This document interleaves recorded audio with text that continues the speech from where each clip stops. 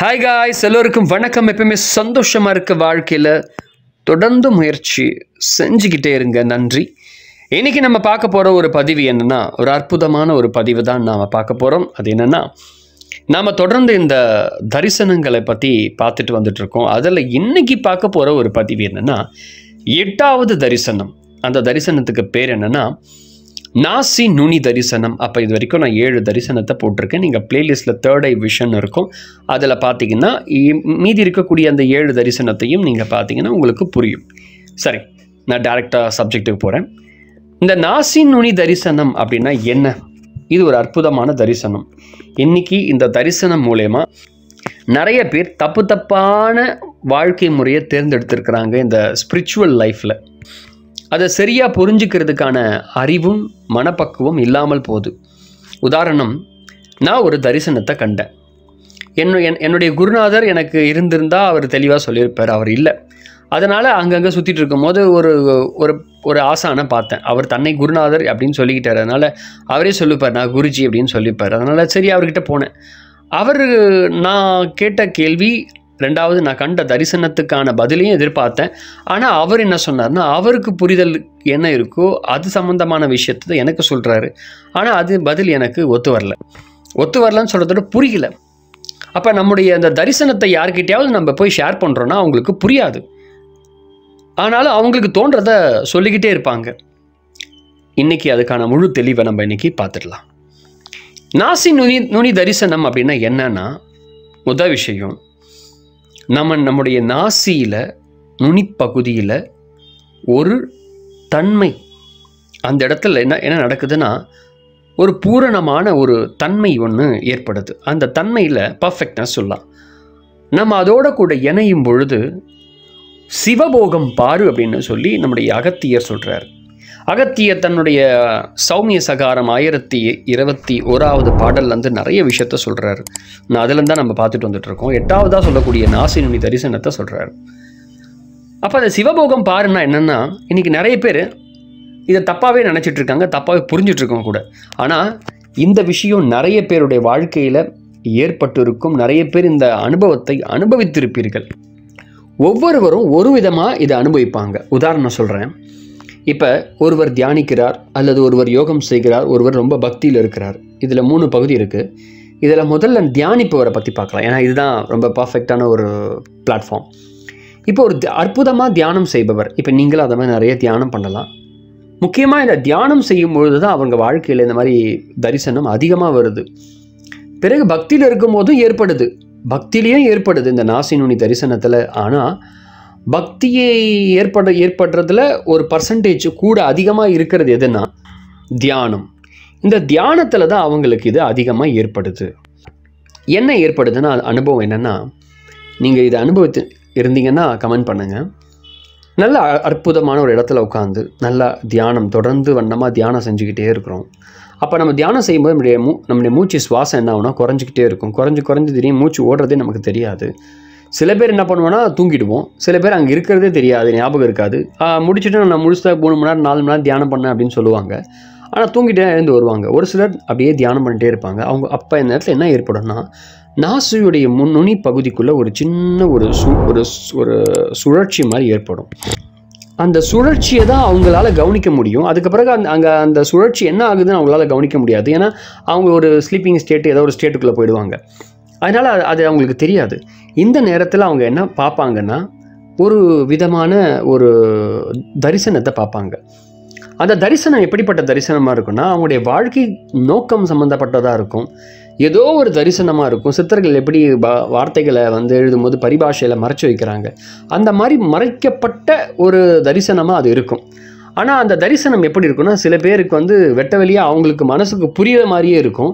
ஆனால் அதை இவர்கள் தவறாகவே எடுத்துக்குவாங்க. இதான் இதில் இருக்கக்கூடிய விஷயம்.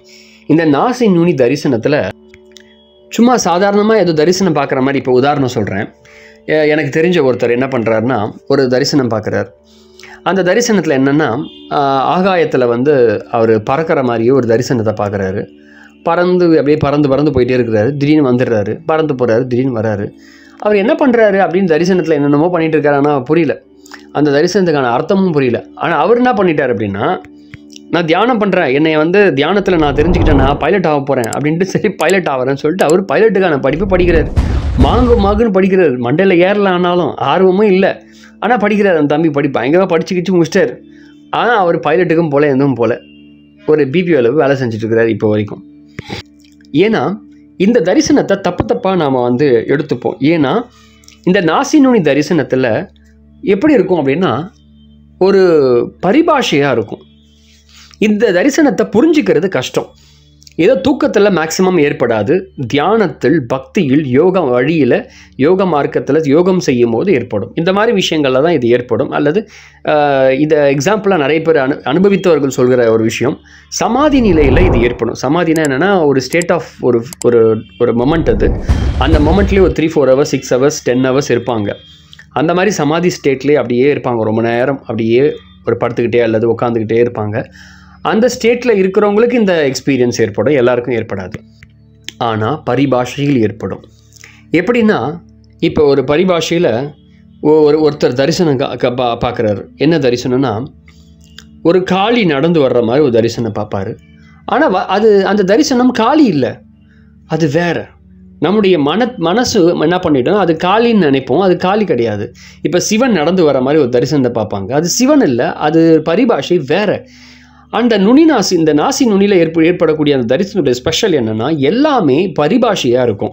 அந்த அர்த்தத்தை புரிஞ்சுக்கிறது ரொம்ப கஷ்டமாக இருக்கும். சில நேரம் அர்த்தம் ஒரு பல வருடம் கூட ஆகலாம் அந்த அர்த்தத்தை புரிஞ்சுக்கிறதுக்கு.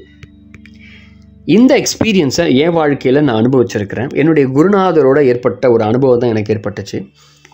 ஒரு நாள் என்ன ஆச்சு? நான் இந்த தியானம் சின்ன வயசுலேருந்து தியானம் பண்ணிகிட்ருக்கேன் அதனால் சின்ன வயசுலேருந்து ஸ்கூல்லையும் இங்கேயும் சொல்லி கொடுக்குறது தான். ஸோ அப்போ தொடர்ந்து நான் சின்ன வயசில் செஞ்சிட்ருக்கேன் அப்போ வீட்டில் கோயிலுக்கு போனால் எங்கேயா போனால் நமக்கு வந்து தியானம் தியானம் பண்ண சொல்லுவாங்க. நான் உட்காந்து அப்படியே தியானம் பண்ணிட்டே இருப்பேன். அப்போ எனக்கே தெரியாமல் என்ன ஆகுது அப்படின்னா ஒரு வயசு என்ன ஐ திங்க் ஒரு ஒரு எயித் ஸ்டாண்டர்ட் கிட்ட படிக்கிற அந்த ஸ்டேஜ் ஆக்சுவலி அப்போ பண்ணிக்கிட்டே இருக்கும்போது அந்த தியானத்தில் என் நான் ஒரு தரிசனத்தை பார்க்குறேன். அந்த தரிசனத்தில் ஒரு ஒரு முடி ஒரு தலையில் ஒரு முடி கொண்ட ஒரு ஒரு மனுஷன் ஆனால் மனிதன் முகம் தெரில அந்த மனுஷனை மாதிரியும் இல்லை. அது ஏதோ ஒன்று என்னை துரத்துற மாதிரியும் நான் அதை துரத்துற மாதிரியும் ரெண்டு ரெண்டு கிளாஷ் ஆகி கிளாஷாக துரத்திட்டே இருக்கிறேன். அதை துரத்தி விட்டு பின்னாடி போயிட்டே இருக்கேன். முன்னாடி வந்துகிட்டே இருக்கேன். முன்னாடி போகிறேன் பின்னாடி வரேன். அந்த தரிசனம் சொன்ன இன்னும் நிறைய பக்கத்தில் நிறைய விஷயங்களை வந்து வந்து கனெக்ட் ஆகுது. நிறைய விஷயங்கள் வருது. ஆனால் என்னால் அந்த தரிசனத்துக்கு என்ன எக்ஸ்ப்ளனேஷன் கொடுக்க முடியல. அந்த தரிசனத்துக்கு பரிபாஷை என்னென்னா நான் பார்த்தது அதுக்கான அர்த்தம் என்னன்னா ஏதோ ஒரு மிருகமும் மனிதம் ஒரு ஒரு ஒரு ஒரு பெரிய மிருகம் மனுஷன் போல் ஒரு மிருகம் வந்து என்னை வந்து கொல்ல பார்க்குது அப்படின்ற மாதிரி தான் தரிசனம். ஆனால் அங்கே என்ன நடந்தது அப்படின்னா நான் அந்த தரிசனத்துடைய பரிபாஷை என்னென்னா எனக்குள்ளே இருக்கக்கூடிய அந்த மிருகத்தை கொள்கிறதற்காக ஒருவர் என்னை நோக்கி வந்தார் அப்படின்றது தான் அதோடைய உண்மையான அர்த்தம். அந்த அர்த்தத்தை என்னென்னா நான் வந்து அனுபவித்தேன் என் குரு என்னை தேடி வந்தார் என்கிட்ட வந்தார் அவர் பேசினார் என் கூட பழகினார். நான் அவர் எனக்கு நிறைய விஷயங்களை கற்றுக் கொடுத்தாரு. அவர் போகும் வரை என்னோடு கூட இருந்தார். ஆனால் இந்த தரிசனத்தை நான் பார்க்கும்போது பயந்துட்டேன். இதை தப்பாகவே நினச்சிக்கிட்டேன். நிறைய பேர்கிட்ட சொன்னேன். எல்லாருக்கிட்டேயும் சொல்லுவேன். வீட்டில் இருக்கவங்க சொல்லுவேன். அப்புறம் ஸ்கூலில் இருக்க டீச்சர்கிட்ட சொல்லுவேன். இதெல்லாம் பா இதெல்லாம் பார்க்குறேன். எனக்கு தெரியுது தெரியுது தெரியுதுன்னு சொன்னேன். அவங்க பெருசாக எடுத்துக்கல. ஆனால் அது அதை தப்பாகவே நான் புரிஞ்சிட்டு இருந்தேன். அதை புரிஞ்சுக்கிறதுக்கு நான் இந்த தரிசனம் எனக்கு எப்போ விடை கிடச்சிதுன்னா நான் பன்னெண்டாம் வகுப்பு படிக்கும் போது தான் அதுக்கான விடையே எனக்கு கிடச்சிது. அது வரைக்கும் எனக்கு அந்த அதுக்கான விடையே கிடைக்கல. அந்த விடையை கரெக்டாக எனக்கு எக்ஸ்பிளைன் பண்ணவர் என்னுடைய குரு. அவர் எனக்கு தெளிவான அந்த விஷயத்த சொன்னதுனால நான் புரிஞ்சுக்கிட்டேன்.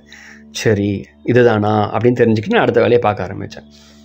இதே மாதிரி நிறைய பேர் இந்த நாசி நுனிக்குள்ளே தியானமோ யோகமோ தாந்திரிகம் எதுவாக இருந்தாலும் சரி என்ன மாதிரி யோகமாக இருந்தாலும் சரி நம்முடைய அகத்தியர் சொல்கிறார் என்ன யோகமாக இருந்தாலும் சரி நீ செய்யும் பொழுது அங்கே ஒன்று ஏற்படும். அந்த இடத்துல இந்த இந்த தரிசனம் எப்படி ஏற்படுற அனுபவத்தை மட்டும் சொல்லிடுறேன். நாசி நுனியை நுனியில் அப்படியே ஓடிக்கிட்டே இருக்கும்போது அந்த நுனியில் மூக்குடைய துவாரத்தில் மட்டும் ஏதோ ரவுண்டாக வந்து வந்து ஹீட்டோ கோல்டோ ஏதோ ஒன்று வந்து வந்து போயிட்டே இருக்கும். அந்த இடத்துல நீங்கள் நம்முடைய சித்தர்கள் என்ன சொல்கிறாங்கன்னா நாதாந்த பூரணம் அப்படின்றாங்க இந்த இடத்த. இந்த இடத்துக்குள்ளே என்ன ஆயிருன்னா சுழுமுனை ரெண்டு பகுதிக்குள்ளே உள் உச்சங்குள்ள அதாவது நம்முடைய தேர்டை சொல் அந்த மூக்கோடைய மேல் பகுதி நுனியிலேருந்து காற்று ரெண்டு பக்கமும் ஒன்றா இணைஞ்சு ஒரே ஷேப்பில் வரும். எந்த ஒரு மாற்றமும் ஏற்படாமல் வளைஞ்சு கிளைஞ்சி எதுவுமே மூச்சு காற்று திரும்பாமல் நேராக இறங்கும். அந்த காற்று எப்படி இருக்குன்னா ஒரு ஸ்ட்ராலேருந்து எப்படி ஒரு காற்றை உப்புன்னு ஊதுனா அங்கெங்கும் போகாமல் கரெக்டாக வெளியே போகும். அதை மாதிரி இறங்கும். அப்படி இறங்கிக்கிட்டே இருக்கும்போது உள்ளே என்ன ஏற்படும்னா நம்மால் சில பேர் என்ன பண்ணுவாங்கன்னா தூங்கிடுவாங்க. சில பேர் வந்து அந்த விழிப்புணர்வில் இருக்கிறவங்க அந் அந்த நொடி பொழுதில் அந்த தரிசனத்தை பார்ப்பாங்க. என்ன தரிசனம்னா நாசி நுனி தரிசனம். அதில் என்ன பேர் என்ன சித்தர்கள் சொல்கிறாங்கன்னா இந்த இந்த நுனிக்கு பேர் என்னென்னா சிவபோகம் பாரு அப்படின்றாங்க. அந்த நேரத்தில் என்னென்னா சிவ தத்துவத்தையும் நம்முடைய வாழ்க்கைக்கு தேவையான விஷயத்தையும் நம்ம இந்த சிவம் இந்த உடம்பு மனசு உடல் இது எல்லாம் இந்த நோக்கத்துக்காக ஏதோ ஒரு விஷயத்த வாழ்ந்துட்டுருக்கு அதுக்கான விஷயத்த தேவைக்கு நீ எந்த பாதையில் போயிட்டுருக்கு அந்த பாதைக்கான சம்மந்தப்பட்ட தரிசனத்தை நீ பார்ப்ப. அந்த இடத்துல அதுதான் இந்த சி நாசினி தரிசனத்தில் நம்ம பார்க்க முடியும்.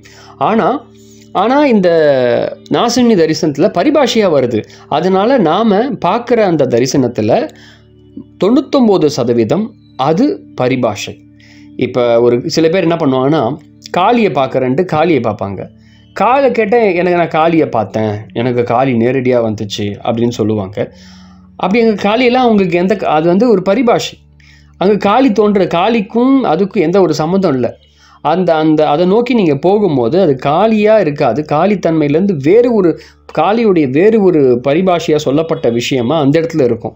அதை அதுக்கான ஒரு விஷயத்தை அந்த பொருளை நம்ம புரிஞ்சுக்கிட்டோம் அப்படின்னா அந்த வழியை நோக்கி நம்ம போகலாம். ஏன்னா இதை நாசி நுனியில் நிறைய பேர் தவறாக புரிஞ்சுக்கிட்டு தப்பு தப்பான ரூட் எடுத்தவங்க. இன்றைக்கி ஸ்பிரிச்சுவல் லைஃப்பில் சில பேர் திடீர்னு ஒரு மாதிரி மாறி நிற்பாங்க. இது இங்கே மாறி நிற்கிறதுக்கு அடிப்படை காரணம் என்னென்னா இந்த இடத்துல தவறு நடக்கிறது தான். தான் பார்க்குறத அது பரிபாஷைன்னு தெரியாமல் அது வேறு ஒரு அர்த்தம்னு தெரியாமல் தான் வாழ்க்கை இதுதான் அப்படின்னு சொல்லி போயிடுவாங்க. இன்றைக்கி நிறைய பேர் இந்த குருஜி கிட்ட போகிறது இந்த குருவை குரு கிட்ட போய்ட்டு அப்படியே இருந்துகிட்டே இருப்பாங்க திடீர்னு. ஆ குரு ரொம்ப பிடிச்சிச்சு அதனால் அவர் டீச்சிங் எல்லாமே பிடிச்சதுனால என்ன பண்ணுவோம்? அவர் மேலே நம்ம வந்து அட்ராக்ட் ஆகிடுவோம் சரி நல்லது தான் ஆனால் அவரே நினச்சி நினச்சி என்ன பண்ணுவோம்? அங்கேயே இருந்துருவோம். எப்படி இங்கே பார்க்குறதுல அது பரிபாஷையில் அது என்ன ஆகணும் வேறு பதில் அங்கே கொடுக்கும். அவர் குருவே வந்து நிற்பார் ஆனால் அது குரு கிடையாது. அது வேறு ஒரு அர்த்தம். அந்த அர்த்தத்தை கண்டுபிடிக்கிறதுக்கு நாம் நெடுந்தூரம் பயணிக்கணும். அதாவது ஆன்மீகம் என்பது அதை தேடி போய் கண்டுபிடிக்கிறது. அது நாமளாக போய் ஸ்பிரிச்சுவல் என்பது அதை தேடி போய் கண்டுபிடிச்சி அதை புடி அதை புரிஞ்சு நமக்குள்ளே அண்டர்ஸ்டாண்ட் பண்ணி அதை உள்ளுக்குள்ளே தக்க வைக்கிறது. அதுதான் ஸ்பிரிச்சுவல் ஆனால் அது இங்கே தான் இருக்குது இதுதான் அதுதான் நம்ம வந்து கனெக்ட் பண்ணுறது முடியாத காரியம்.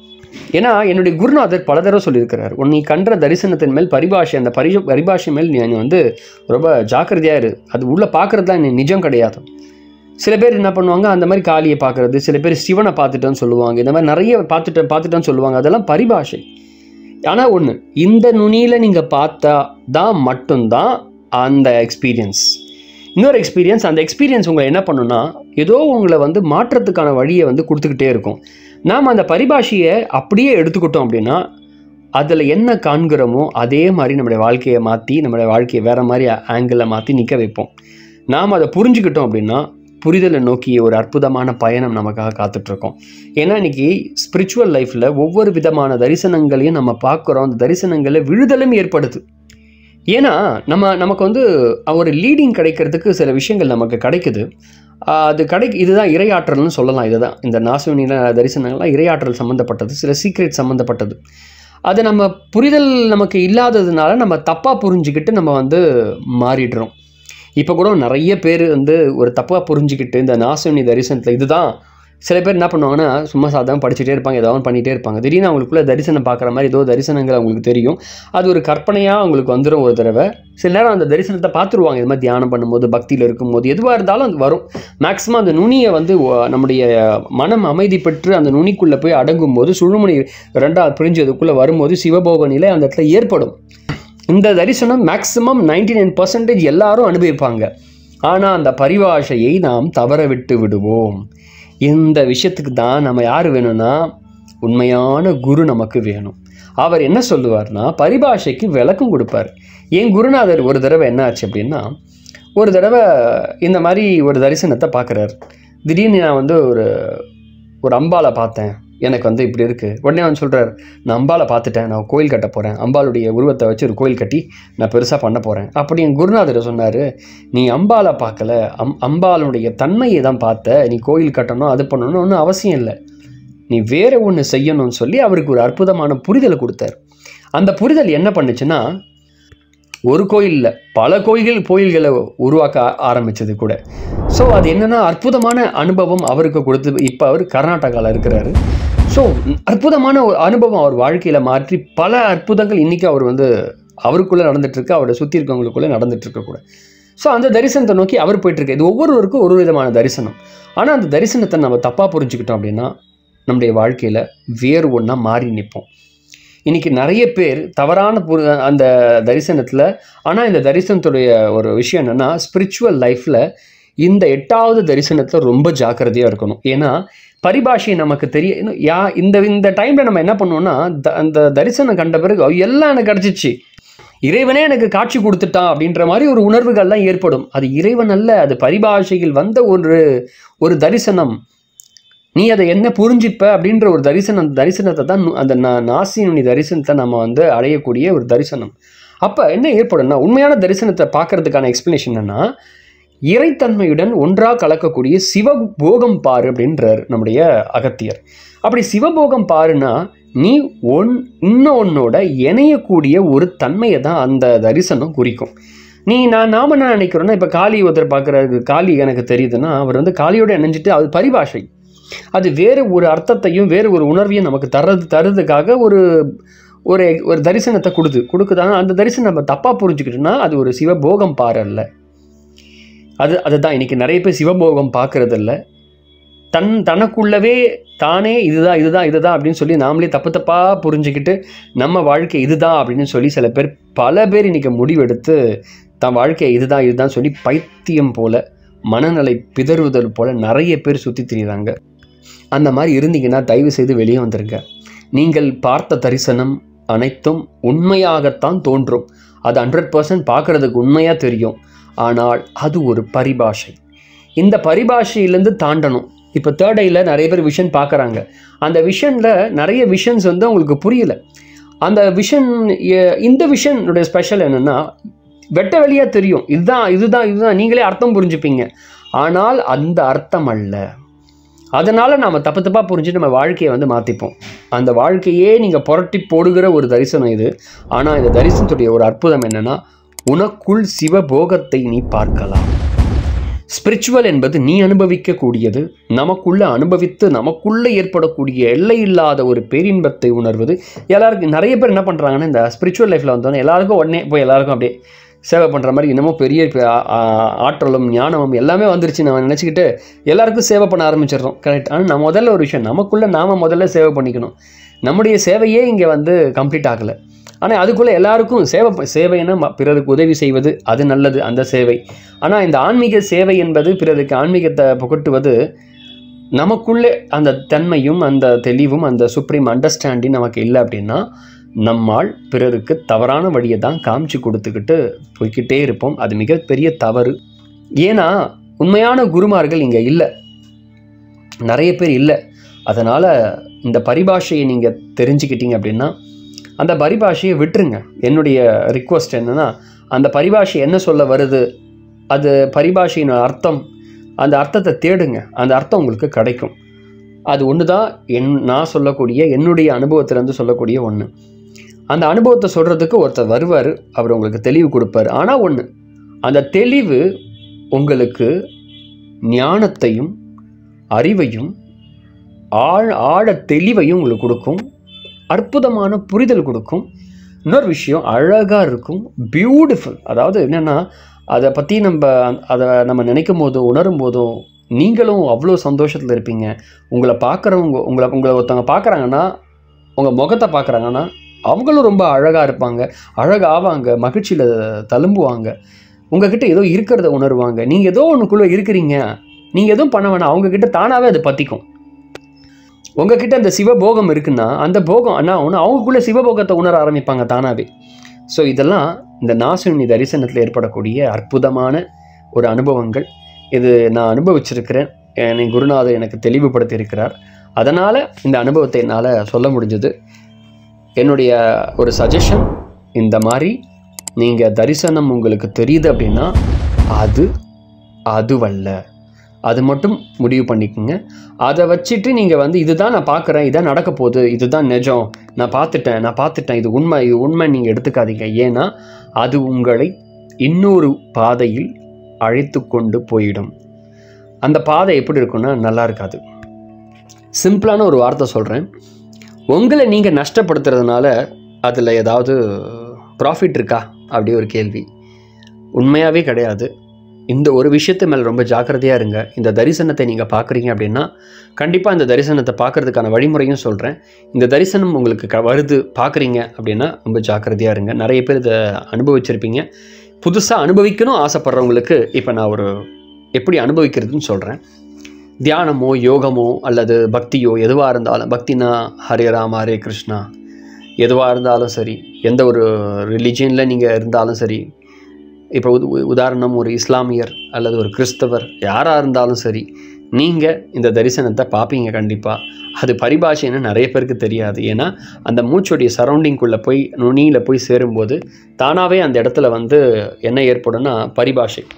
அது தானாகவே அந்த சிவபோகம் பார்க்கறதுக்கான வழிமுறை நமக்கு தெரிய வரும்.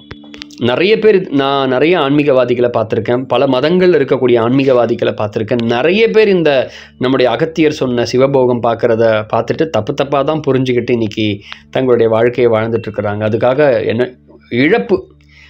நைன்டி நைன் பர்சன்டேஜ் இழப்பு தான் இருக்கும். என்னுடைய அனுபவம் சொல்கிறேன் இதில் இந்த அனுபவத்தில் இழப்பே இருக்காது. உங்களுக்குள்ள அற்புதமான வளர்ச்சி தான் இருக்கும். ரொம்ப பியூட்டிஃபுல்லாக இருக்கும்.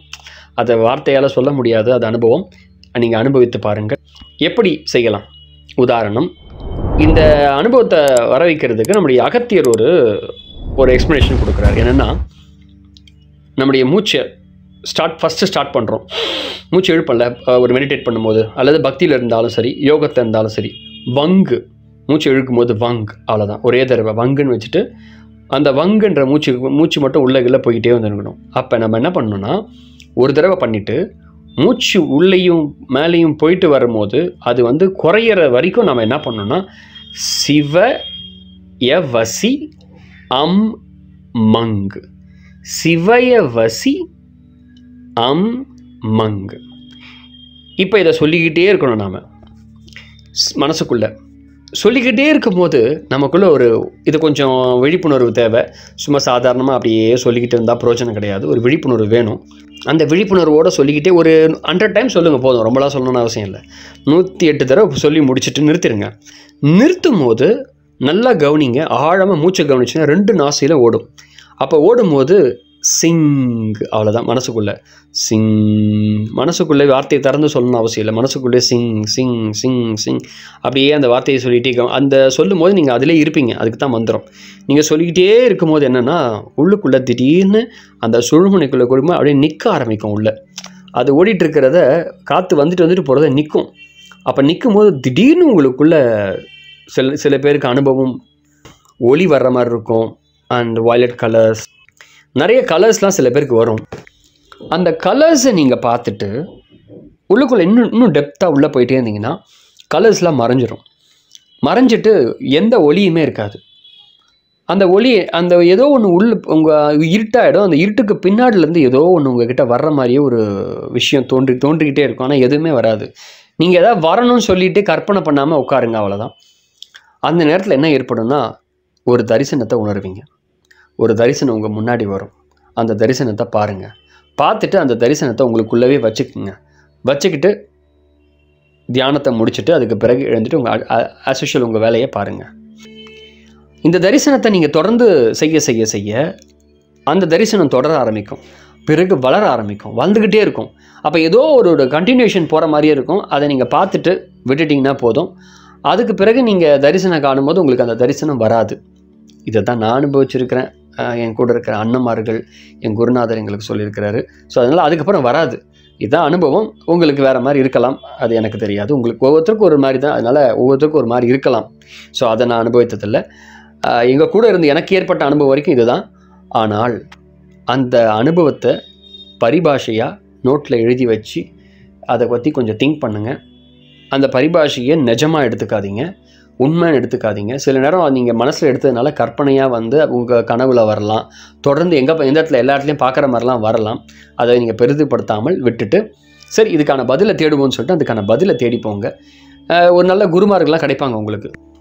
எல்லா விஷயத்தையும் அந்த மாஸ்டர்கிட்ட குரு குரு சொல்லிடாதீங்க.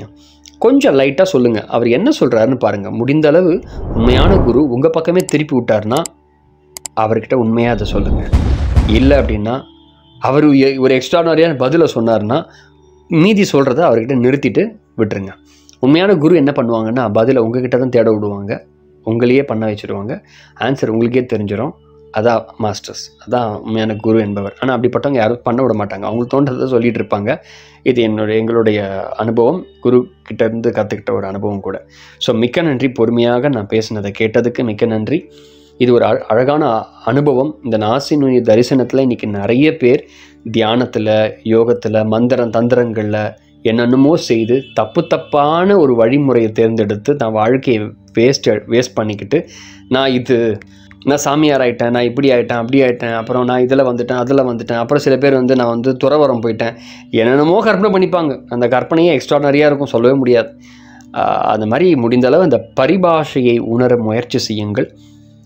இது என்னுடைய சஜஷன் கூட. அந்த அந்த புரிதல் உங்களுக்கு உங்களை தேடி வரும். சிவபோகம் உங்களுக்கு உதவி புரியும். நீங்கள் பார்க்கும்போது உதவி புரியும் அகத்தியரும் உங்களுக்கு உதவி புரிவார் கூட. சித்த புருஷர்களும் உங்களுக்கு உதவி புரிவார்கள். மிக்க நன்றி.